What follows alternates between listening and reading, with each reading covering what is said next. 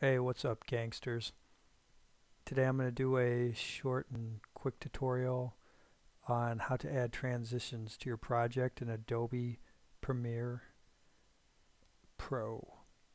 Um, it's pretty easy, not much to it. If you're new to Adobe Premiere, I can see where sometimes it's confusing to try to figure out how to do something simple, but uh, once you know where to go and how to add it, it's pretty easy. So once you have your two clips in your timeline and usually when you butt them up it's just like a uh, cut like that but you want to spice up your project and add a transition what you can do is if you go up to your effects panel here drop that down and there is a option here or category that says video transitions hit that drop down and then you'll see some other categories here, such as a dissolve, iris, page peel, slide, wipe, zoom.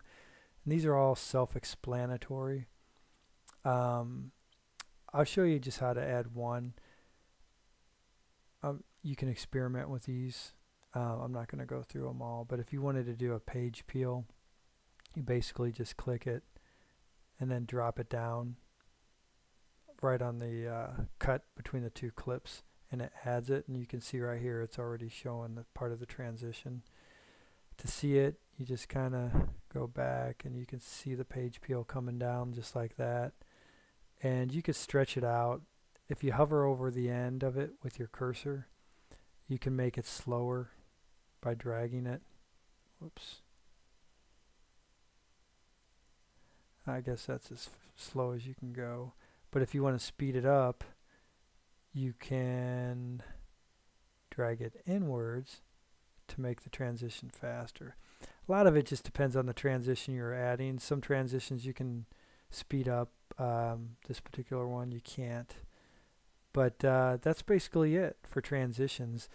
Um, a lot of the transitions are pretty basic.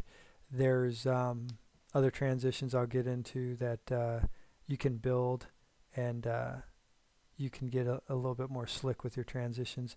I'll put a link in my description on a uh, video I made for some other transitions that aren't pre-built in Adobe Premiere that are pretty sick and uh, will blow these default transitions out of the water. So go ahead and make sure you check out that.